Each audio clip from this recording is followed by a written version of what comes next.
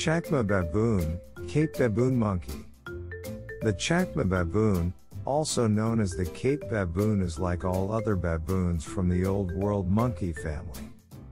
It is one of the largest of all monkeys. Sex and life cycles. Chacma baboons breed throughout the year.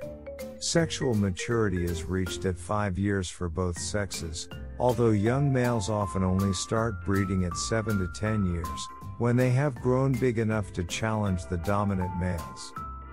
The female reproductive cycle is about 36 days. When a female is sexually receptive, her posterior swells and becomes bright pink. This sexual swelling is at its peak for a few days just before ovulation.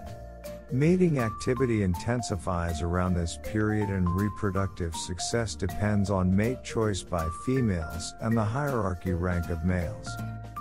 Females prefer to mate with the dominant males, and dominant males further prevent access to females by subdominant males through aggressive suppression.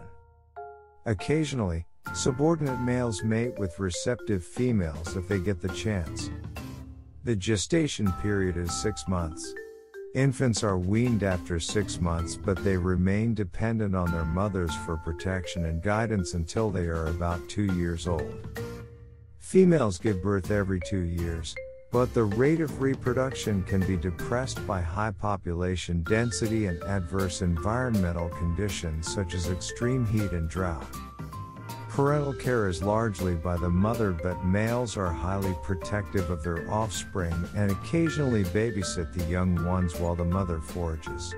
Infanticide by males may occur during succession where the new dominant male kills the young offspring of their predecessor.